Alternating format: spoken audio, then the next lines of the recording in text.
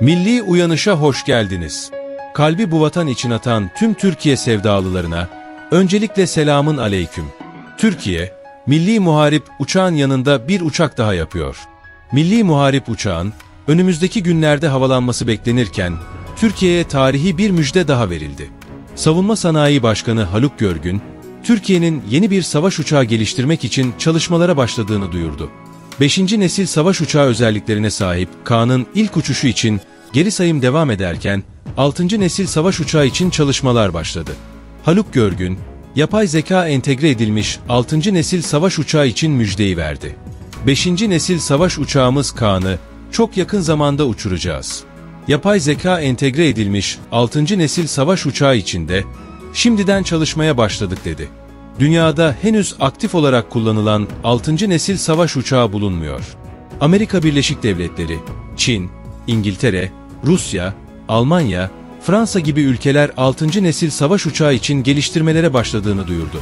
Uçakların yaklaşık olarak 2035 yılında üretime başlanması hedefleniyor. 6. nesil uçakların en önemli özelliği insansız görev yapma kabiliyetleri olacak. Bu uçaklar yapay zekadan güç alacak ve 5. nesil savaş uçaklarına kıyasla hava-hava muharebe yetenekleri daha gelişmiş olacak. 6. nesil savaş uçakları, 5. nesilden çok daha fazla yeteneklere sahip olan ve 2030-2035 yılları arasında hizmete girmesi planlanan uçaklardır. Bu uçaklar, hava üstünlüğü sağlamak, düşman hava savunmasını aşmak, insansız hava araçlarıyla koordineli çalışmak ve yönlendirilmiş enerji silahları kullanmak gibi özelliklere sahiptir. Şimdi sizlere 6. nesil savaş uçakları projesi olan ülkelerden ve bu uçakların öne çıkan özelliklerinden bahsedeceğim. İlk olarak Amerika Birleşik Devletleri'nin 6. nesil savaş uçağı projesinden söz edelim. Amerika Birleşik Devletleri 2020 yılında 6. nesil savaş uçağının prototipini uçurduğunu açıkladı. Bu uçak Next Generation Air Dominance adı verilen bir program kapsamında geliştirilmektedir. ENGAD, F-22 ve F-35 gibi 5. nesil uçaklara tamamlayıcı olacak ve onların yerini alacak bir uçaktır. ENGAD'ın özellikleri tam olarak bilinmemekle birlikte hipersonik hızlara ulaşabilen, yapay zeka destekli, insansız veya isteğe bağlı insanlı olarak uçabilen, gizlilik teknolojisine sahip ve lazer gibi yönlendirilmiş enerji silahları taşıyabilen bir uçak olduğu tahmin edilmektedir. İkinci olarak, Avrupa'nın 6. nesil savaş uçağı projesinden bahsedelim. Avrupa, Tempest ve Future Combat Air System, FCAS adında iki farklı 6. nesil savaş uçağı projesi yürütmektedir.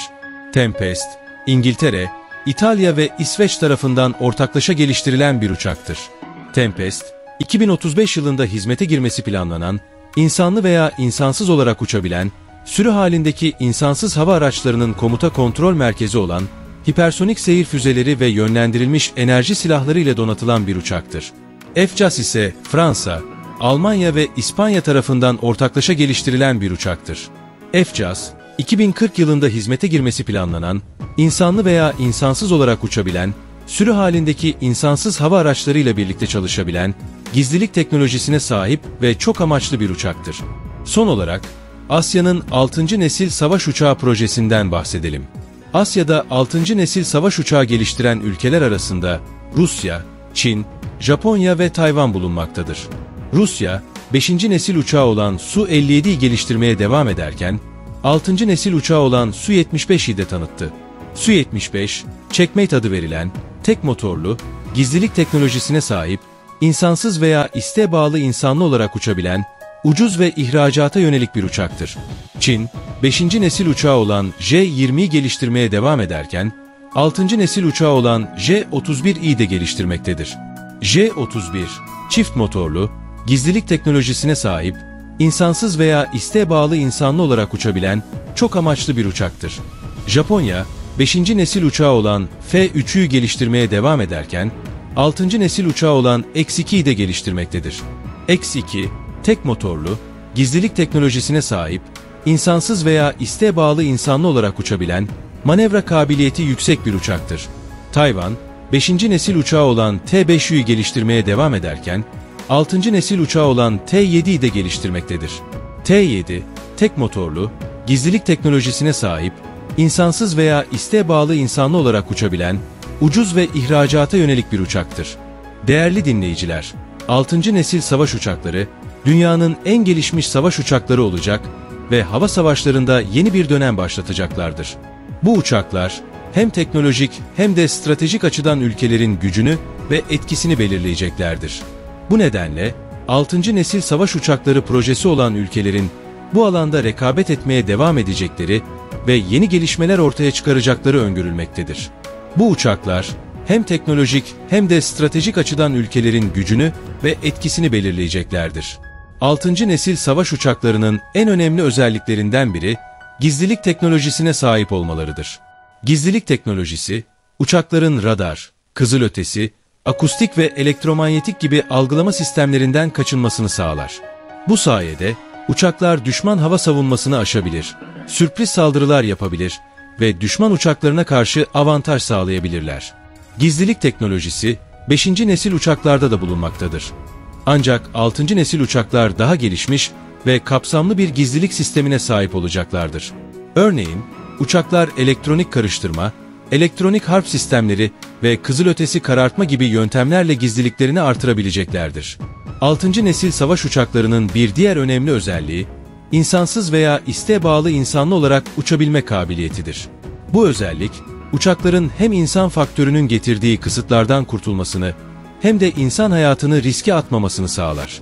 İnsansız veya isteğe bağlı insanlı uçaklar, yapay zeka destekli bir savaş bulutuyla birbirine bağlanacak ve sürü halindeki insansız hava araçlarının komuta kontrol merkezi olacaklardır. Bu sayede uçaklar daha etkin bir şekilde koordinasyon, keşif, istihbarat, saldırı ve savunma görevleri yapabileceklerdir. 6. nesil savaş uçaklarının bir başka önemli özelliği, hipersonik hızlara ulaşabilme ve yönlendirilmiş enerji silahları kullanabilme yeteneğidir. Hipersonik hız, ses hızının 5 katından fazla olan bir hızdır. Bu hızda uçabilen uçaklar, düşman uçaklarına ve hava savunma sistemlerine karşı üstünlük sağlayabilir. Daha kısa sürede daha uzak mesafelere ulaşabilir ve daha az yakıt tüketebilirler. Yönlendirilmiş enerji silahları ise lazer, mikrodalga, parçacık ışını gibi enerji formlarını kullanarak hedefleri yok eden silahlardır. Bu silahlar, geleneksel mühimmatlara göre daha ucuz, daha hızlı, daha hassas ve daha az tespit edilebilir olabilirler.